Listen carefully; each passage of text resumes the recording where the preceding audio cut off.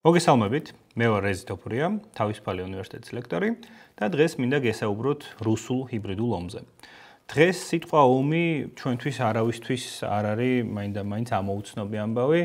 ყველა უყურებთ იმას თუ რა ხდება უკრაინაში, თუმცა ისიც კარგად მოგეხსენებათ, რომ რუსეთის აგრესია უკრაინაში არ დაწყებულა ამა წლის თებერვალში, არა? 2014 წელს რუსეთმა მოახდინა ყირიმის სრული ანექსია, თუმცა მაშინ დღევანდელისგან განსხვავებით გაცლებით ნაკლებად გვესმოდა ინფორმაცია შეტაკებების შესახებ, რაღაც სამხედრო გადაადგილებების შესახებ და ასე შემდეგ, ასე შემდეგ. 2014 წელს ყირიმის ანექსია მოხდა ისე, რომ ვერც დასავლეთმა, ვერც უკრაინამ ფაქტიურად ვერაფერი ვერ გაიგო რუსეთის ქმედებების შესახებ და სწორედ მაშინ სოციალურ მეცნიერებებში უსაფრთხოების მიმართულებაში გაჩნდა ახალი ტერმინი. ჰიბრიდული ომი. ეს ტერმინი მანამდეც არსებობდა, არსებობდა 2000-იანი წლების დასაწყისიდან, თუმცა ყველაზე კარგად მიესადაგა რუსულ ოპერაციებს. დღეს სწორედ ამაზე მინდა გესაუბროთ. რა არის ჰიბრიდული ომი? თუმცა სანამ ომის ჰიბრიდულობაზე მივალთ, მოდი დავიწყოთ თვითონ კითხვით რა არის ომი. ომიც ყველამ ვიცით, გვინახავს, არავის არ გვინდა ცხადია, თუმცა აი განმარტება ომის საკმაოდ რთული ამბავია. ლამის მთელი ისტორია არის იდეაში ომების ისტორია. ხო, კაცობრიობის მთელ აღრიცხულ ისტორიაში მხოლოდ 8% იყო ისეთი, როცა ომი არ გქონია. თუმცა როცა მივდივართ ამ კითხვაზე რა არის ომი, ცოტა არ იყოს სოციალური მეცნიერებები აქ იჭედება. ყველაზე კარგი განმარტება შეგვიძლია წავიკითხოთ კალფონ კლაუსვიცთან, რომელიც ითვლება ამ ომის მეცნიერების ერთ-ერთ ფუძემდებლად და ის ამბობს, რომ ომი არის უბრალოდ პოლიტიკის გაგრძელება სხვა გზებით. ძალიან ხშირად ომზე პირდაპირ გვახსენდება სამხედრო შეიარაღება, იქ ტანკები, ავტომატები ასე შემდეგ, ასე შემდეგ, მაგრამ რეალურად ომი არის პოლიტიკა, უბრალოდ სხვა ფორმებით. ხშირ შემთხვევაში ქვეყნები ცდილობენ საწადელს მიაღწიონ სხვანაირად და ეგრეთ წოდებული last resort, ანუ ბოლო მოქმედება ხდება ომი. აა რო გავაგზავნოთ და უკვე ომის ჰიბრიდულობაზე ვილაპარაკოთ, ჰიბრიდული ომი, ეს არის ომის ის ფორმა, რომელშიც მაინდა-მაინც სამხედრო ელემენტები არ არის წინა პლანზე, ან მხოლოდ სამხედრო ელემენტები არ არის. რუსული ჰიბრიდული ომის შემთხვევაში ჩვენ ვსაუბრობთ თლიან არსენალზე. რუსული ჰიბრიდული ომი დღეს არის ძალიან ფართო სპექტრის ინსტრუმენტები, სამხედრო, დიპლომატიური, ფინანსური, ეკონომიკური, ინფორმაციული, კიბერ, აი ამ ელემენტების გაერთიანება და მათი გამოყენება. ისევე როგორც სხვადასხვა ჯგუფების, რელიგიური ჯგუფების, სეპარატისტული ჯგუფების, ეთნიკური ჯგუფების, აი ამ ყოველფრის გამოყენება სხვადასხვა მიზნების მისაღწევად. ხშირ შემთხვევაში ეს არის გარკვეული ზეწოლის წერტილების ჩამოყალიბება, რომელსაც შემდგომ რუსეთის ფედერაცია იყენებს საკუთარი პოლიტიკის საწარმოებლად ან დესტაბილიზაციის შესაქმნელად, ასე შემდეგ და ასე შემდეგ. ყველა ეს ელემენტი, რომელიც ახლა ჩამოთვალე, მარტივად შეგვიძლია ვიპოვოთ რუსეთ-საქართველოს ურთიერთობასაც რო გადავხედოთ, ხო? აი თუნდაც იმ 2008 წლის ომამდე 1-2 წლით ადრე გემახსოვრებათ რუსეთის ეკონომიკური ემბარგო, რომლის მთავარი მიზანი იყო ომის დაწყებამდე ჩვენი ხელისუფლების საქციელის შესვლა, ხო, უარის თქმა პროდასალურ კურსზე. შემდეგ იყო საქართველოს მოსახლეობის გამოძევება რუსეთის ფედერაციიდან. ყველა ეს ნაბიჯი, ემბარგო, ეკონომიკური ელემენტები, ენერგო ბრძოლა, რომელიც ასევე რამდენიმე სიბზამთარს მოესწარეთ ამ ყოველფრის გამო, იყო რუსეთის ფედერაციის ქმედებები მიიღწია საკუთარი პოლიტიკისთვის, აღონთ სამხედრო შეიარაღების გარშე, ეგრეთ წოდებული ჰიბრიდული ომის ელემენტები იყო. შემდგომ ამ ყოველფერს ამ ყოველფერმა შედეგი არ იქონია და საბოლოო ჯამში მივიღეთ 2008 წლის ომი. თუმცა ამ ომში ომშიც შეიმჩნეოდა მთელი რიგი ჰიბრიდული ელემენტებისა. 2008 წლის ომი მაგალითად იყო პირველი ომი, როცა ქვეყანამ გამოიყენა სამხედრო გადაადგილებასთან ერთად გამოიყენა კიბერელემენტები. ა იმ დროს შეიძლება ბევრი არ იყო ინტერნეტთან გათვითცნობიერებული, თუმცა მე პირადად მახსოვს, როგორ გაითიშა მთელი რიგი ქართული ვებსაიტებისა 2008 წლის ომის დროს. ცალკე ეს ფაქტი შეიძლება არ ყოფილიყო იმდანაც სახიფათო, რაღაც ომთან არ დაგვეკავშირებინა, მაგრამ როცა ის ხდება სინქრონიზირებულად სხვა ქმედებებთან ერთად, სხვა ინფორმაციულ ელემენტებთან, სხვა სამხედრო გადაადგილებასთან ერთად, ეს ქმნის დამატებით პანიკას. ამას შემოაქვს დამატებითი დესტაბილიზაციის ელემენტები, სწორედ ამიტომ განვიხილავთ ამ ყველაფერს ჰიბრიდ ჰიბრიდული ომის ნაწილში. თუმცა დღეს მინდა გამომახვილო ყურადღება ჰიბრიდული ომის ერთ კონკრეტულ ელემენტზე, რომელიც ყველაზე მეტად გვეხება, რომელთანაც ყველაზე ხშირი გადაკვეთის წერტილი გვაქვს. ეს არის ინფორმაცია. დღევანდელ სამყაროში ჩვენ ცხოვრობთ ინფორმაციულ საუკუნეში, არა? ინფორმაცია დღეს აღარ არის რაღაცა ფუფუნება, როგორც პირობითად იყო ადრე. თუ ადრე ვიღაცას ინფორმაციის მისაღებად უწევდა ბიბლიოთეკაში წასვლა და იქ წიგნების ზებნა, დღეს ეს ყველაფერი ძალიან გაამარტივა თანამედროვე ტექნოლოგიებმა, ინტერნეტმა, სოციალურმა ქსელებმა, ასე შემდეგ და ასე ასე შემდეგ. თუმცა ამ ყველაფერთან ერთად ამან შექმნა გარკვეული მოწყვალდობის ფაქტორი ისეთ სახელმწიფოებისთვის, როგორც არის რუსეთის ფედერაცია. აა იგივე ყირიმის ანექსია, რომელიც ახსენე 2014 წელს ბატონი ნატოს გენერალი ბრედლავის განმარტებით იყო სოფლიო ისტორიაში ყველაზე მაგარი ინფორმაციული ბლიცკრიგი. არაფერი ისეთი განსაკუთრებული სამხედრო კუთხით ყირიმის ანექსიის შემთხვევაში არ ყოფილა. თავარი ელემენტი იმ შემთხვევაში იყო ის თუ რას აკეთებდა რუსეთი ინფორმაციულ ველზე. და სწორედ ამიტომ მინდა გამომახვილო ჩვენი ყურადღება ინფორმაციაზე. იმაზე თუ რას აკეთებს რუსეთი ინფორმაციასთან მიმართებაში და როგორ გარდაქმნის იმას, რაც ერთი შეხედვით ჩვენთვის არის უბრალოდ ინფორმაცია, როგორ გარდაქმნის ამ ყველაფერს ჰიბრიდული ომის ელემენტად. აქვე უნდა აღინიშნოს ის, რომ შედარებით ასაკოვან მაყურებელს, ვისაც საბჭოთა კავშირში ცხოვრების გამოცდილება აქვს, ეცოდინება, რომ ინფორმაციული манипуляციები, პროპაგანდა, დეзинფორმაცია რუსეთისთვის არც ადრე იყო უცხო, საბჭოთა კავშირში მთელი დირექტორატი არსებობდა KGB-ში დირექტორატი ა, რომელიც სწორედ ამაზე მუშაობდა და იმ დროსაც საკმაოდ აქტიურად იყენებდნენ, ცხადია, მაშინ ჰიბრიდულ ომს არ ვეძახდით ამ ყველაფერს, თუმცა საკმაოდ აქტიურად გამოიყენებდა ჯერ კიდევ მაშინ. მინდა ერთგვარი სხვაობა გაჩვენოთ და შემდეგ დეტალურად ჩავშალოთ თუ რა შეიცვალა და რატომ არის ეს ყველაფერი ჩვენთვის ყურაცაღები. თუ გადავხედავთ საბჭოთა წარსულს დეзинფორმაციის და ამ ინფორმაციული манипуляციების, ერთი კონკრეტული ფაქტი მახსენდება, შეიძლება მსოფლიოში ერთ-ერთი ყველაზე წარმატებული დეзинფორმაცია 1993 წელს სრულიად ისეთ უცნაურ არც თუ ისეთ ცნობილ ინდურ გაზეთში, სახელად პატრიოტი, ჩნდება შოკის მომგვრელი ინფორმაცია. ეს გაზეთი იუწყება, რომ ამერიკელ მეცნიერზე დაყრდნობით, რომელმაც ანონიმურად მიაწოდა მათ ინფორმაცია, აა ამტკიცებდა, რომ ამერიკის შეერთებულმა შტატებმა ლაბორატორიაში ხელოვნურად შექმნა შიცის ვირუსი. რამდენიმე წლის წინ გემახსოვრებად საქართველოსიც და არა მარტო იყო საკმაოდ დიდი მithkma motkma agiotagi covid virusთან დაკავშირებით, ხო? იმიტომ რომ ფაქტიურად არ ჰქონდა არანაირი ინფორმაცია თუ რა დონის ვირუსი იყო, რამდენად საფათო იყო ამ შემდეგ. ამ შემდეგ დაახლოებით იგივე სიტუაცია არის 80-იან წლებში და რუსეთის ფედერაცია იმ დროის საბჭოთა კავშირი ამ ყველაფერს ძალიან კარგად იყენებს. ვრცელდება ეს ინფორმაცია გაზეთ პატრიოტში, რომელიც ბრალს დებს ამერიკის შეერთებულ შტატებს შიცის ვირუსის შექმნასთან დაკავშირებით და თან ამტკიცებს, რომ ამ ყველაფრის უკან დგას კონკრეტული მიზანი. ამერიკა სურს, რომ ფერადკანიანი მოსახლეობა და LGBTQ თემის წარმომადგენლები გაანადგუროს შიცის ვირუსით. ნუ ერთი შეხედვით დღეს ხვდებით რომ ეს უბრალოდ სასაცილო ჭორია, თუმცა იმ დროს ამ ყველაფერმა ასე არ ჩაიარა. ძალიან დიდი რესურსი დახარჯა საბჭოთა კავშირმა იმისთვის, რომ შემდგომი 2 წლის განმავლობაში ეს ინფორმაცია მაქსიმალურად ბევრი ქვეყნის სხვადასხვა ჟურნალში გამოქვეყნებულიყო და მართლაც 1985 წლისთვის ამ ინფორმაციას ვხედავთ სოფლის 80 სხვადასხვა ქვეყნის 200-მდე ჟურნალ გაზეთში. შემდგომი 2 წლის განმავლობაში საბჭოთა კავშირი საკმაოდ ბევრ შრომას გაიღებს იმისთვის, რომ ეს ინფორმაცია რაც შეიძლება მეტად გავრცელდეს მთელ სოფლიოში და მართლაც 1985 წლისთვის ეს ინფორმაცია, რომელიც ბრალსდებს ამერიკის შეერთებულ შტატებში ცის ვირუსის შექმნაში, უკვე გამოქვეყნებულია სოფლიოს 80 ქვეყნის 200-მდე ჟურნალ გაზეთში და უკვე 1985 წელს თავად საბჭოთა კავშირის ამბობს, რომ აი ამ და ამ ჟურნალებზე დაყნობით ჩვენს ვამბობთ, რომ საბჭოთა კავშირი აცხადებს უბრალოდ რომ ამერიკა დგას შიცის ვირუსის შექმნის უკან. თუმცა ამ ყველაფერს ტირაჟირებს არა როგორც საბჭოთა პროპაგანდას, არამედ თითქოს და ამ ყველაფერს აკნობს სხვა წყაროებს.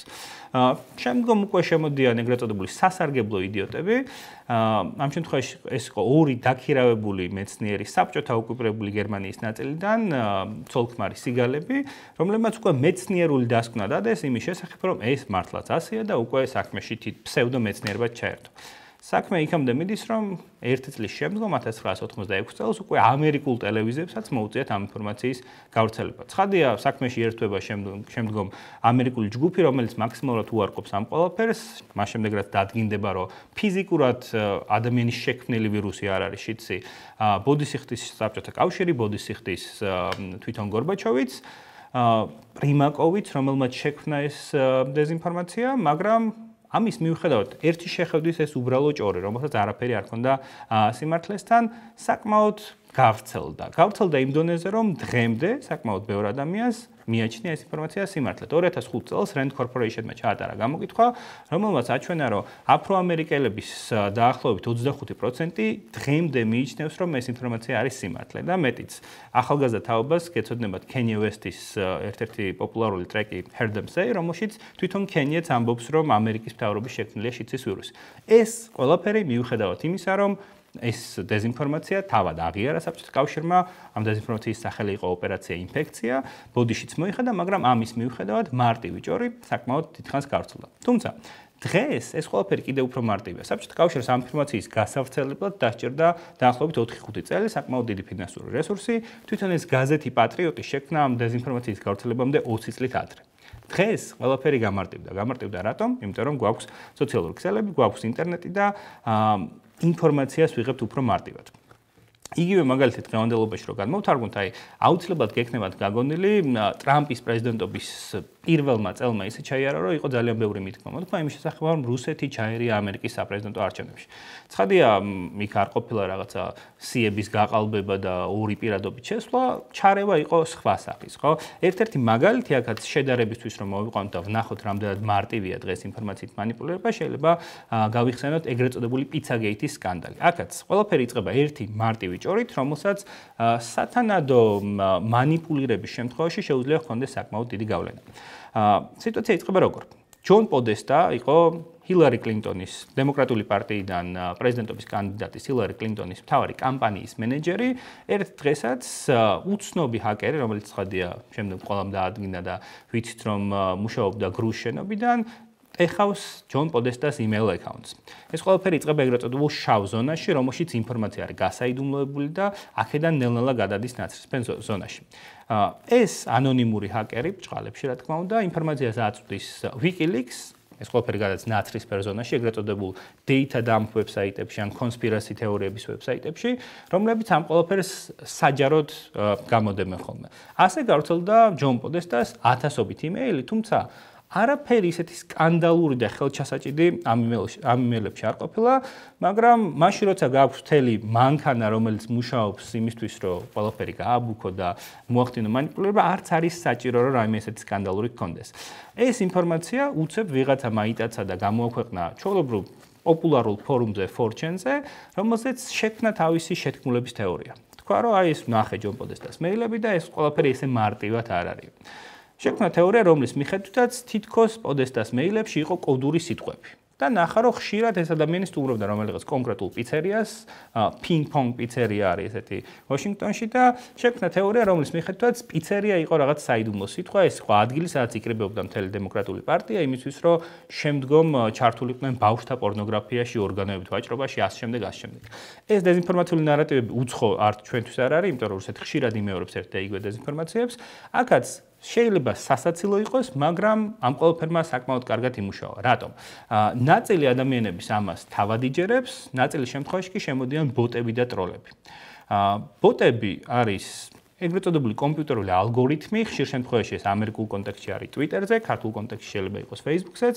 ეს არის ალგორითმი, რომელიც წინასწარ დაზეპირებულ ფუნქციას ასრულებს და ინფორმაციას აწვდის უფრო დიდ ჯგუფს. ტროლები უკვე არიან დაქირავებული ადამიანები და რუსეთის შემთხვევაში აუცილებლად გეცოდინებათ, რომ არის ეგრეთ წოდებული ინტერნეტის კლევის სააგენტო, ოფიციალურად ესე ადარეგისტრირებული, რომელიც არის პუტინ პუტინის მეგობრების მიერ შექმნილი ტროლების ქარხანა, რომელიც ხშირად მუშაობს მსგავს ინფორმაციებზე. ერთვება მსგავსი ტროლები, რომლებიც ცდილობენ ამ ინფორმაციის მაქსიმალურად აგრეგირებას სხვა სხვა სოციალურ ქსელებსა თუ ფორუმებზე. აი შემდგომ შემოდიან სასარგებლო იდიოტები. სასარგებლო იდიოტები არიან ადამიანები, რომლებიც არ არიან კრემლის მიერ დაქირავულები, უბრალოდ იჯერებენ ამ ინფორმაციას ისე, რომ თვითონაც ხდებიან ამ ინფორმაციის გამცემი და კიდევ უფრო დიდ ჯგუფთან ზრდიან ამ ყველაფერს. აი ასე ეს ერთი არაფრით დასაბუთებული ინფორმაცია, ჭორი, ვიღაცის კონსპირაციული თეორია იმის შესახებ, რომ დემოკრატიული პარტია ჰილარი კლინტონი იყო ბავშვთა პორნოგრაფიაში ჩართული რაღაც პიცერიაში, გახდა სენსაციური ინფორმაცია, რომელსაც მთელი ინტერნეტი მოიცვა. Ну, მალე შემოდის რაღაც სხვა სხვა სურათები, რომ იქ ობამა ვიღაცა ბაუშს პინგ-პონგს ეთამაშება და ესე იგი ესეც ჩართულია, იქ ვრცელდება რაღაც სარდაფის სურათი და ამბობენ რომ აი აქ ხდება ეს მთელი ამბავი, ასე შემდეგ, ასე შემდეგ, ეს ინფორმაცია აგრეგირდება საკმაოდ დიდ დონეზე. ეს ნაცრის პერსონას რასაც ვეძახით, რომელშიც ბოლომდე არიცი რამდენად ვინ დგას ამ ინფორმაციის უკან, ვინ გაავრცელა ეს ინფორმაცია და ბოლოს უკვე ეს ყველაფერი გადადის თეთრ ზონაში. ისეთ ვებსაიტებზე, რომელიც ყველამ კარგად ვიცით, რაც არის პირობითად Sputnik-ი, რაც არის RT, Russia Today და ამ შემდეგ, ამ შემდეგ, როგორც რომელიც ვიცით, ვინ დგას მათ უკან. თუმცა, დღევანდელ რუსეთმა დახვეწა ეს პროპაგანდის ელემენტები, ინფორმაციას არ ავრცელებს პირდაპირ RT ან Sputnik-ი, რადგან ყველამ უკვე ვიცით, რომ ეს არის პროპაგანდისტული გამოცემები, უბრალოდ აი ამ ნაცრისფერ ზონაში ათასობით ვებგვერდზე აგრეგირდება და შემდგომ ადამიანის ტვინი არის მოწყობილი ისე, რომ რაც უფრო ხშირად ხდება ინფორმაცია, გონია რომ მეტი სანდო მადლობა გიჩნდება მის მიმართ და გონია რომ ეს ყველაფერი მართლაც ესეა. Pizzagate-ის შემთხვევაშიც რამდენიმე დღის განმავლობაში ხდებოდა ამ ნაცრის პერსონაჟის ინფორმაციის აგრეგირება და სიტუაცია მთავრდება იმით, რომ ერთ დღეს 28 წლის ედგარ ველში სხვა შტატიდან ჩადის ვაშინგტონში, ავტომატით შევარდება ამ კონკრეტულ პიცერიაში და ეუბნება, რომ სასწრაფოდ ჩამიყვანეთ სარდაფში, ბავშვები უნდა დავიხსნა თქვენი პორნოგრაფიისგან. უბრალოდ ამ შენობას ფიზიკურად არ გააჩნდა სარდაფი. ეს ყველაფერი იყო ცხადია მოგონილი რუსული ტროლების მიერ კარგად ორკესტრირებული ინფორმაცია, რომელმაც ასე ვთქვათ გააშავა ჰილარი კლინტონი. ეს ეს არის ერთი კონკრეტული მაგალითი, რომელზეც ვიღაცამ შეიძლება თქვას, რომ კარგი ვიღაცამ ინტერნეტში იხუმრა რა შედეგი შეიძლება მოყვეს ამ ყველაფერს. თუმცა ამის შედეგს თუ გავზომავთ, ნახავთ, რომ იგივე ჰილარი კლინტონის შემთხვევაში დემოკრატიული პარტიის მხარდამჭერებშიც კი საკმაოდ დიდი იყო მაჩვენებელი იმ ადამიანებისა, რომლებმაც ეს ყველაფერი დაიჯერეს და ცხადია შეიძლება მათ ხმის მიცემის მომენტზეც ამას ეკონია თავისი გავლენა. დღევანდელ სამყაროში მთელი ეს ცვლილება საკმაოდ მარტივად დასანახია. საბჭოთა პროპაგანდა იყო გათვლილი საკმაოდ პრიმიტიული ელემენტით, წარმოაჩენდა ერთ მხარეს როგორც ცუდს და მეორე მხარეს როგორც კარგს. ხშირ შემთხვევაში ამერიკა იყო ცუდი მხარე, რომელშიც ხალხს ისე უჭირდა კაპიტალიზმის გამო, რომ ტრედებს ჭამდა ლამის და საბჭოთა კავშირი იყო კომუნიზმის აკვანი, რომელშიც მალე ონკანიდან რძე წამოვიდოდა. თუმცა ხალხი ცხადია მარტივად ხვდება ესეთ პრიმიტიულ პროპაგანდას, ამიტომ დღეს ეს ტაქტიკა შეიცვალა. დღევანდელი რუსული დეзинფორმაცია, რუსული პროპაგანდა არ არის მიმართული იმაზე, რომ ერთი მხარე ცუდად წარმოაჩინოს და ამის საპირისპიროდ მეორე კარგად. დღეს დღევანდელი რუსული დეзинფორმაცია მუშაობს იმაზე, რომ მთლიანად თავგზაუბნიოს ყველას. ფიზიკურად ვეღარ მიხვდეს ადამიანი რა არის კარგი, რა ცუდი. იგივე ამერიკის შეერთებული შტატების არჩევნების შემთხვევაში რუსული პროპაგანდა არ მუშაობდა მხოლოდ იმაზე, რომ ჰილარი წარმოიჩინა როგორც ცუდი კანდიდატი. იგი მსგავსი ინფორმაცია ვრცელდებოდა ტრამპის შემთხვევაშიც, თლიანად ამ დემოკრატიული პროცესის ძირის გამოთხრა სურდა რუსეთს ამ შემთხვევაში და ეს ყველაფერი გახდა გაცილებით მარტივი. კიდევ ერთი ცვლილება რაც მოიტანა ინტერნეტმა არის ის, რომ საბჭოთა პროპაგანდა მანამდე მუშაობდა სახელმწიფოდან სახელმწიფოს. ერთი სახელმწიფო ცდილობდა მეორე სახელმწიფოს შესახებ რაღაც ნეგატიური ინფორმაცია გავრცელებინა. დღეს კი ამ ყველაფერმა გადმოინაცვლა ონლაინ სივრცეში. People to people connections ეძახიან ამ ყველაფერს, როცა შენ ვიღაც სახელმწიფო ჩინოვნიკი ან რაღაც სახელმწიფოს ოფიციალური პრეს სპიკერი კი არ გიმტკიცებს რაღაც, არამედ ვიღაც შენნაირი გარწმუნებს, რომ ეს მართლაც ესეა და აქაც შემოდის ფსიქოლოგიური ელემენტი, რომელშიც ადამიანს უფრო მეტი ნდობა უჩდება თავისი თავისი მსგავსი ადამიანის მიმართ. ამიტომაა ძალიან ყურადსაღები ის, რომ კარგად დავიჭიროთ ეს რუსული პროპაგანდის ელემენტები. აა ინტერნეტმა საშუალება მისცა რუსეთს, რომ ეს ყველაფერი გააკეთოს ძალიან მარტივად. თუ იმ ოპერაცია ინფექციის შემთხვევაში დასჭირდა საკმაოდ დიდი დრო, წლები, საკმაოდ დიდი ფინანსური რესურსი, დღეს ამ ყველაფერს სჭირდება უბრალოდ რამდენიმე ადამიანი, რომელიც ლეპტოპს აიღებს ხელში და პოპულარულ ფორუმზე შექმნის დეзинფორმაციულ თეორიას და შემდგომ ამ ყველაფერს Twitter-ზე ტროლების და ბოტების საშუალებით უფრო ფართო აუდიტორიას მიუტანს. 1000 მსგავსი დეзинფორმაციული ნარატივი ვრცელდება ცხადია საქართველოსში გაცილებით მეტი პარტია მიზანი ამ ყოველფრის უკან ხშირ შემთხვევაში არის განსხვავებული ქვეყნების მიხედვით. ამერიკის შემთხვევაში ეს შეიძლება იყოს უბრალოდ დესტაბილიზაცია მცირე დონეზე, პოლარიზაციის შექმნა დემოკრატიულ ინსტიტუტებში, რაღაცა მსგავსი მსგავსი განხეთქილების შემოტანა, მაშინ როცა იგივე გერმანიაში პირობითად შეიძლება იყოს კონკრეტული თავრობების წინააღმდეგ მიმართული ნაბიჯები. იგივე გერმანიის შემთხვევაშიც შეიძლება გავიხსენოთ ლიზას кейსი. ეს ამბავი ხდება, როცა ევროპაში მიგრანტების კრიზისი დაიწყო, ну სირიაში დაიწყო უბრალოდ აქაც რუსეთის დიდი დამსახურებით. ბევრ ადამიანს ცხადია სირიიდან მოუწია წამოსვლა გამოქცევა ომისგან და თავს აფარებდა ევროპას. ამ დროს გერმანია იყო ერთ-ერთი მოწინავე ქვეყანა რომელმაც მილიონზე მეტი მიგრანტი მიიღო და იმისთვის რომ რუსეთის ფედერაციას ეჩვენებინა თუ რამდენად არამყარია მთელი ეს ევროპული ღირებულებები, რამდენად არამყარია ეს ევროპული ჰუმანიზმი, ლიბერალიზმი, რამდენად არ ჯერათ თვითონ მოსახლეობის შიგნით, მოიფიქრა ესეთი მარტივი ხრიკი. ერთ დღესაც რუსეთის პირველი არხი გერმანიაში, ბერლინში იღებს სიუჟეტს, რომელშიც ამტკიცებს, რომ 13 წლის გოგონა, რუსი გოგონა ლიზა მოიტაცეს სკოლაში, სკოლისკენ მიმავალ გზაზე და ამ საქმეში ჩართული იყო ხუთი სირიელი მიგრანტი. ამას ხომ ტირაჟირებდნენ საკმაოდ ფართოდ, იმ დონეზეც კი, რომ მეორე დღეს დაიწყო ბერლინში აქციები, ბერლინში მაცხოვრებელი რუსების მოთხოვნა იმისთვის, რომ პოლიციამ საკმაოდ კარგად გამოიძიოს ეს ყველაფერი და საბოლოო ჯამში ძალიან მალე პოლიციამ დაადგინა და გაარკვია, რომ ლიზა უბრალოდ თავის შეყვარებულთან ერთად იყო იმ ღამეს და არაფერი მსგავსი არ მომხდარა. ლიზა ბრუნდება თავის ოჯახში, ამბობს, რომ მართლაც არაფერი არ მომხდარა, თუმცა ისტორია აქ არ თავდება. რუსული პირველი არხი იღებს შემდგომ სიუჟეტს, რომელშიც პოლიციას აბრალებს ინფორმაციის დამალვას, აბრალებს იმას, რომ მათ არ უნდათ შეექმნათ რაღაცა მიგრანტებისგან ცუდი სურათი, ავცელებს საერთოდ სხვა კადრებს მიგრანტებისა, რომელშიც თითქოს ბრალსტებს, რომ ეს ლიზას გამტაცებლები იყვნენ. მოკლედ, აქაც არა დაუსაბუთებელი ჭორები, რომლებიც საბოლოო ჯამში მიგვიყანა იქამდე, რომ აა არა მარტო რუსულენოვანი მოსახლეობა, არამედ სხვა ულტრა მემარჯვენედ განწყობილი მოსახლეობა საბოლოო ჯამში მიდის ანგელა მერკელის ოფისთან და ითხოვს იმას, რომ გერმანიამ გადახედოს საკუთარ საიმიგრაციო პოლიტიკას. ცხადია, შედეგი იმ შემთხვევაში არ მოხდა, თუმცა რუსეთს ჰქონდა ის მცდელობა, რომ გარკვეული ჩარევა მოეხდინა გერმანულ პოლიტიკაში და ეჩვენებინა, რომ რაღაცა ერთიანობა არ იყო. ეს სიუჟეტი სხვა შორის იწყება იმით, რომ თითქოს ავსტრიამ შეაჩერა შენგენის ზონის მოქმედება, რაც ისტორიაში არ მოხდა რა მსგავსი ფაქტი.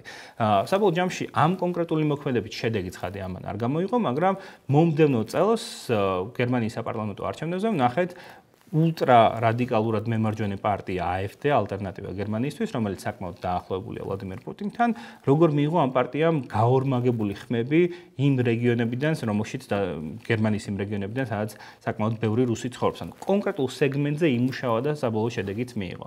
არის თქმა მინდა ამ ყოლაფრით. ინტერნეტმა ძალიან მარტივი გახადა ინფორმაციული манипуляციები, რომელიც ერთი შეხედვით შეიძლება შევხედოთ, ვერ მივხვდეთ საერთოდ არ გვეგონებს რომ ამ ყოლაფრს უკან დიდი ამბები იმალება, თუმცა საჭიროა რომ კარგად გავიანალიზოთ ეს ყველაფერი. ხშირ შემთხვევაში დეзинფორმაცია, პროპაგანდა, ეს манипуლირებები მოქმედებს ადამიანების შიშებზე. იქნება ეს COVID ეპიდემია, იქნება ეს აა თუნდაც ომის რეტორიკა რაც ჩვენს ხალხში ხშირად ვრცელდება და უნდა დავინახოთ მიზნები ამ ყველაფრის უკან. უნდა ვეძიოთ ამ ამ ყველაფრის წყარო და უნდა გავაანალიზოთ, იმიტომ რომ მთელი არსი ჰიბრიდული ომის არის ის, რომ რუსეთი ფარულად დარჩეს. არ გვაგზნობინოს ეს ხაზი მშვიდობასა და ომს შორის, იმიტომ რომ ისტორიად ეს მოიტანა ჰიბრიდულმა ომმა. თუ ადრე ომის გამოცხადება იყო საჯარო აქტი, რომელშიც იწოდი გააზრებულად, რომ შენ ხარ ომის მდგომარეობაში, თანამედროვე რუსულმა ჰიბრიდულმა ომმა მოიტანა ის, რომ ფიზიკურად არ იცი როდის დაიწყო ომი ან როდის დამთავრდება. ყოველდღიურ რეჟიმში მიმდინარეობს, მიმდინარეობს ფაქტიურად არაერთი მიმართულებით და ჩვენ გვიწევს ამასთან თანაცხოვრება, ამიტომ აუცილებელია გვინდა რომ თვალი გავუსწოროთ, დავინახოთ და ყველაფერს საკუთარი სახელი დავარქვათ და მიზეზებიც და მიზნებიც ცხადია უნდა გავიაზროთ. ამ შემთხვევაში უკრაინის უკრაინაში შეჭრამ რუსეთსა გვაჩვენა დაანგრია ის რუსული დეзинფორმაციის მითი რუსეთის უძლეველი არმიის შესახებ და სწორედ აქ იმალება რუსეთის ჰიბრიდული ომის ერთ-ერთი მთავარი მიზეზიც. რუსეთს ფიზიკურად არ შეუძლია ომის წარმოება პირობდად ნატოს ქვეყნების წინააღმდეგ. რუსეთს ფიზიკურად არ შეუძლია სამხედრო ინტერვენცია სხვა სხვა ქვეყანაში ერთდროულად, ამიტომ მიმართავს ამ ჰიბრიდულ ელემენტებს, რომელშიც ძალიან მარტივად დაბალი დანახარჯებით და მათ შორის ფარულად შეუძლია ამ ყველაფრის წარმოება. ამიტომ უმჯობესი იქნება, რომ კარგად გავიაზროთ ეს ყველაფერი და მარტივად არ წარმოვეგოთ რუსულ ჰიბრიდულ ელემენტებს.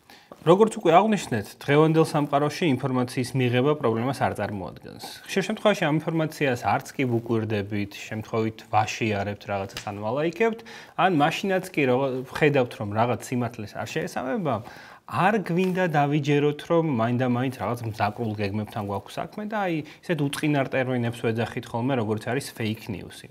fake news-ი შეიძლება იყოს რაღაც სახუმარო ინფორმაცია, თითქოს გლდანში ვიღაც ბებო ცომში ამფეტამინს ურევდა და მთელი უბანი თონის პურზე შეცვა, მაგრამ რუსეთის შემთხვევაში საქმე გვაქვს ორკესტრირებულ სახელმწიფოს მიერ ორკესტრირებულ პროპაგანდასთან და დეзинფორმაციასთან და ამ შემთხვევაში მიზანი არის პოლიტიკური. მიზანი ხშირ შემთხვევაში არის ამ დესტაბილიზაციის შემოტანა, შიშებზე თამაში, манипуლირება, რაღაცა კონკრეტული აა ნოსტალგიების შემოტანა, ასე შემდეგ და ასე შემდეგ. იმის დასანახად თუ როგორ უყურებს რუსეთი ინფორმაციას, ორი ორი განსხვავებული მიდგომა შეგვიძლია დავინახოთ. ბარაკ ობამას აქვს ნათქვამი, რომ სოფლიოში არანაირი პროპაგანდა ვერ გახდის სწორს იმას, რაც აპრიორი არასწორია. რუსული მიდგომა რადიკალურად განსხვავებულია. რუსები პირდაპირ ამბობენ, რომ ის მხარე, რომელიც საინფორმაციო ომში სიმართლეს ამბობს, დამარცხებულია. ხოლო საინფორმაციო ომს დასავლეთი უყურებს როგორც ომის სამხედრო ომის შემადგენელ ნაწილს. თუმცა რუსეთის შემთხვევაში შეგვიძლია ამოვიკითხოთ მათი სამხედრო დოქტრინებიდან და ვნახავთ, რომ ისინი მუდმივ რეჟიმში ხედავენ ინფორმაციულ ომს. მათ მიაჩნიათ რომ მთელი დასავლეთი მათ წინააღმდეგ არის, ამიტომ თვითონაც ყოველდღიურ რეჟიმში აწარმოებენ ინფორმაციულ ომს, რომელშიც ჩვენ როგორც უკვე აღინიშნა, ვერც კი ვხედავთ, მაგრამ ვექცევით ამ ყოლაფრის გავლენის სფეროებში. ხშირ შემთხვევაში აქ ასევე მუშაობს ჩვენი ტვინის ერთ-ერთი უნარი confirmation bias, რომელიც ქართულად ალბათ მიკერძოებულობა, აი დადასტურების მიკერძოებულობა შეგვიძლია ვთარგმნოთ, რაც ნიშნავს იმას, რომ ჩვენ ტვინი ეძებს ისეთ ინფორმაციას, რომელიც უკვე გვჯერა და შემდეგ ცდილობს მსგავსი ინფორმაცია დაიჯეროს. ამიტომ თუ რაღაცის გვეშინია, კრემლი ხშირად ცდილობს, რომ კიდევ უფრო მეტად შეგვაშინოს. მაგალითად, COVID-ის შემთხვევაში არაერთი დეზინფორმაცია იყო, ხო? რომელიც აი დღეს რო შევხედოთ, ძალიან სასაცილოა ის, რომ თითქოს 5G ანტენებს რაღაც კავშირი ქონდა COVID-თან ან ჩვენს დაჩიფვასთან. აა ასე შემდეგ და ასე შემდეგ. მაგრამ იმ კონკრეტულ მომენტში იმის გამო რომ ადამიანს ეშინოდა იმის რაც არ იცოდა COVID-ის, დამატებითი შიშის ფაქტორი შემოვიდა და ეს ყველაფერი კიდევ უფრო გააღვივა. მსგავს რაღაცებს ხშირად იყენებს უცრული დეზინფორმაცია და ხშირი თემები რაც მეორდება არის მაგალითად რელიგია. იგივე რელიგიურ ელემენტებშიც რო გადავხედოთ, ძალიან ხშირად აპელირებს რუსეთი იმით, რომ დასავლეთი არის გარყვნილი, გარყვნილი ქვეყნების ერთობლიობა, რომელშიც აღარ არსებობს მორალი, აღარ არსებობს ღმერთი, აღარ არსებობს რელიგია და ამის საპირწონედ ჩვენ გვაქვს პუტინი, რომელიც ხშირად რაღაცა რელიგიურ დღესასწაულებზე გამოჩნდება ხოლმე უზარმაზარი სანთლებით ან იგივე ნათლისღებაზე წელსემუჩი შველი ჩადის ყინულივით ცივ წყალში, ასე შემდეგ, ასე შემდეგ, ქნის ეგრეთ წოდებულ მესამე რომს, რომელშიც ამ რელიგიური სენტიმენტებით თამაშობს. ან ხშირად ამ დეზინფორმაციების თავარი წყარო არის ტრადიციებზე ბრძოლა. თითქოს ის, რომ ეს ეს დასავლური ინტეგრაცია ამ ჩვენს ტრადიციებს ეიბრძვის და გვართმევს, ლიბერალიზმით ხშირად შემოწამ ყველაფერში. აქაც თავარი ელემენტი, რითიც დეზინფორმაცია თამაშობს თამაშობს და ხდება წარმატებული, არის შიში, არის გაუთვითცნობიერებლობა იმისა, რომ რაღაც არ ვიცით, გვეშინია, რაღაც ფიქრები ამის შესახებ უკვე გვაქვს და შემდგომ ამ მომენტს რუსული დეზინფორმაცია საკმაოდ კარგად იყენებს. საქართველოსი, უკრაინაში ამ პოსტსაბჭოთა სივრცეში რუსეთს დამატებითი ფაქტორებიც უწყობს ხელს. ამ შემთხვევაში ეს არის ენობრივი ფაქტორები, ენობრივი ბარიერების არ ქონა მაგალითად, ხო ძალიან მარტივად, ვინაიდან ბევრი ადამიანი რუსულ ენაზე ისაც საუბრობს და ხშირად უყურებს კიდევაც რუსულ ტელევიზიებს, უფრო უმარტივდება ინფორმაციის მიტანა. ასევე შემოდის ეს საბჭოთა ნოსტალგიის ელემენტები, რომელშიც ძალიან ბევრ ადამიანს დღემდე ის სისტემა მოსწონს, იმ სისტემას მისტირის და რუსეთში შემოდის ერთგვარი აპოლოგიტ, რომელიც გეუბნება, რომ ის თუ გენატრება, მე ვარ დღეს ამ ყოველფრის განსახიერება, ასე შემდეგ, ასე შემდეგ და ნელ-ნელა გვაჯერებს იმას, რის უკვე გვჯერა, ოღონდ მივყავართ სხვა მიმართულებით. ანუ ბევრი ელემენტი არაც რეალურად დეზინფორმაციაში შემოდის იმ იმდენად ბევრი რომ ხშირ შემთხვევაში შეიძლება კონსპირაციის თეორიებიც გადავარდეთ და ვერც კი დავიჯეროთ რომ ამდენად მძლავრია რუსული საცაცები უბრალოდ გვახსოვდეს რომ დიდ რესურსებს ეს შეიძლება არც კი მოითხოვდეს და რასაც მოითხოვს იმის რესურსები, რასაც ფინანსური ნამდვილად აქვს. ამ კუთხით იგივე რომ გადავხედოთ სხვა სხვა ქვეყნებში ულტრა მემარჯვენე პარტიებს, რაღაც მარი ლეპენის აღზევებას, ან იგივე ვიქტორ ორბანის მართლობას უნგრეთში, ნახავთ რომ ხშირად მათ ახასიათებთ საკმაოდ კარგი ურთიერთობის ქონა რუსეთის ხელისუფლებასთან, რატომ? იმიტომ რომ საერთო მიზანს ემსახურებიან. ცხადია, აი ეს ფრაზები, რომლებიც ხშირად აი ბირჟის მსგავსი განხილვებია, რომ ეს ტრამპი პუტინის კაცია, ლეპენი პუტინის ქალი, ასე შემდეგ, შემდეგ. ცხადია, ეს იმართლაც არ შეესაბამება, თუმცა ამ შემთხვევაში ხშირად იკვეთება მსგავსი ულტრამემარჯვენე პარტიების, რადიკალური პარტიების ინტერესები რუსეთის ინტერესებთან. ევროპული კავშირის დასუსტება, ამ ევროპული ღირებულებების შესუსტება, აი ლეპენის გაცხადებული პოლიტიკა არის მაგალითად, რაცა ევროკავშირის წინააღმდეგ მიმართული, ნატოს წინააღმდეგ მიმართული. ხო, საერთო ინტერესებში იკვეთებიან და შემდგომ რუსეთი ამ თავის ნარატივებში ევროპაში ცდილობს წარმოაჩინოს ის, რომ ნახეთ, აი თვითონ ევროპაშიც კი არ მოსწონთ ის სისტემა, რომელიც იქ არის და თქვენ რაღა გინდათ. თან ხშირად აღვივებენ ამ შიშებს იმით, რომ აი მაინც არ გიღებენ ან რაღაცა იქ ის სისტემა უკავშირდება თითქოს რაღაცა ცუდს. ტრადიციების დაკარგვას, რელიგიის დაკარგვას. ბოლო პერიოდში შემოვიდა თითქოს ევროპული ინტეგრაცია ჩვენს ქვეყანაში უდრის ომში ჩვენს ჩარევას და მსგავს გაუაზრებელ და ყოველდღიურ უსაფუძვლო ნარატივებს, არა? ამიტომ კიდევ ერთხელ საჭიროა რომ ამ ყველაფერს არ წამოვიგოთ, არ ჩავთვალოთ ეს რაღაცა უბრალოდ მარტი fake news-ებად, რომელსაც უბრალოდ გავატარებთ, არა, ამ ყველაფერს უკან არის საკმაოდ ძლიერი ორკესტრებული ჯგუფები, რომლებიც საკმაოდ შრომას დებენ იმაში, მართალია მარტივად, მაგრამ შრომას დებენ იმაში, რომ თქვენ ინტერნეტში შეხვდეთ გარკვეული ინფორმაცია, რაღაც bias-ები, რომელიც რომელიც უკვე გაგაჩნიათ, უფრო გაგიყვანონ, წაგიყვანონ კონკრეტული მიმართულებით და შემდგომ ამ ყველაფრით შემოიტანონ გარკვეული არეულობა. აა ბრიტიც თავიდან დაიწყე. ომი შეიძლება არ იყოს მაინდა-მაინც ყოველთვის სამხედრო კუთხით. გასაგ ძალიან თუდია ის, რასაც ვხედავთ ჩვენ უკრაინაში, თუმცა როგორც უკვე აღნიშნეთ, იგივე საქართველოს შემთხვევაში სანამ დაიწყებდა სამხედრო ინტერვენცია, წლების განმავლობაში მიმდინარეობდა ომის სხვა ფორმა. ომი, როგორც პოლიტიკა, ოღონდ სხვა გზებით. თუ კონკრეტული ქვეყანა მიაღწევს საკუთარ მიზნებს, დეზინფორმაციით, კიბერელემენტებით, აი მაგალითად ჩვენი ქვეყნის შემთხვევაში, თუ ისედაც შეგვაცვლევინებს ჩვენს პოლიტიკას, შეგვაცვლევინებს აზროვნებას, თუ შემოიტანს რაღაცა განხეთქილებას, თუ შემოიტანს სხვა სხვა დესტაბილიზაციას, ვარს თუ გვათქმევინებს რაღაც ღირებულებებზე, თუ შეგვაშინებს რაღაც ქმედებებისგან, საერთოდ აღარ არის საჭირო სამხედრო ქმედება, ესეც ომია, რასაც ჰიბრიდულ ომს ვეძახით. თვითონ ეს ტერმინი ან კონცეფცია ახალი ნამდვილად არ არის. ჰიბრიდული ომი არსებობს მეცნიერებლებიც რომლებიც გეტყვიან რომ ყველა ომი თავისი არსით ჰიბრიდული იყო, თუმცა დღეს ამ ტერმინას სხვა ფუნქცია შეიძინა. აა განსაკუთრებით თანამედროვე ტექნოლოგიების განვითარებასთან ერთად, განსაკუთრებით რუსეთის ამქმედებებთან ერთად და საჭიროა რომ ყველაფერს თვალი გაუსწოროთ. დღეს სამწუხაროდ ვიმყოფებით იმ ვითარებაში, როცა რუსეთის ჰიბრიდული ომის წყალობით მოიშალა საზღვრები მშვიდობასა და ომს შორის. მოიშალა საზღვრები რაღაც კონკრეტულ რეგიონს შორის. ეს პროცესი დღეს მიმდინარეობს სოფლიოს ყველა ქვეყანაში. იმ ქვეყნებშიც კი სადაც შეიძლება ვიღაცა მიფიქროს, რომ რუსეთს ფიზიკურად ინტერესები არ გააჩნია. რუსეთის ინტერესი არ არის რაღაც კონკრეტული არტიის მთავრობაში მოყვანა კონკრეტული ადამიანის რაღაც მთავრობიდან ჩამოგდება ამ შემდეგ ამ შემდეგ მიზანი არის უბრალოდ ქაოსის შექმნა, უბრალოდ სიტუაციის არევა, უბრალოდ დესტაბილიზაცია, აი წყლის არევა, რომელშიც რუსეთიც აღარ გამოჩნდება ისეთი ცუდი. ძალიან რთულია დღეს ვინმეს ვლადიმერ პუტინმა უმტკიცოს თუ რა მაგარი ქვეყანაა რუსეთი. ამიტომ ტაქტიკა არის პირიქით, საპირისპირო. თლიანად ყოველფრის აღრევა, ჩვენება იმისა, რომ ფიზიკურად არ არსებობს ობიექტური სიმართლე, არ არსებობს ეს ევროპული ღირებულებები, არ არსებობს მუშა დემოკრატია, ამ შემდეგ, ამ შემდეგ, რომელშიც უკვე რუსეთიც აღარ ჩანს ცუდად და ესეთი პიტერ პომერანცევის ძალიან კარგი დახასიათება რუსული მთელი ამ ტაქტიკის, რომელშიც ამბობს, რომ პუტინს ლობს დაგვაჯეროს, რომ if nothing is true anything is possible. სწორედ აი ამ ვითარებაში შევდივართ, რომელშიც აი ყველაფერს გვაჯერებს, თან ისე რომ არაფრის აღარ გვჯერა. ამიტომ ამ პროცესში განმეორდები. საჭიროა რომ კარგად გავიაზროთ ეს ყველაფერი, დავაკვირდეთ ყველა ჯგუფს, რელიგიურ ჯგუფს, რაღაც სხვა სხვა ეთნიკურ ჯგუფებს, სხვა სხვა ტრადიციებთან დაკავშირებულ ნიუსებს, ევროპის შესახებ ინფორმაციას. ამ ყველაფერს შევხედოთ არა ჩვენი ბაიასებით, არამედ ობიექტურად. გავიაზროთ რა იმალება მათ უკან და ამ პროცესში არ ვიყოთ სასარგებლო იდიოტები. დიდი მადლობა.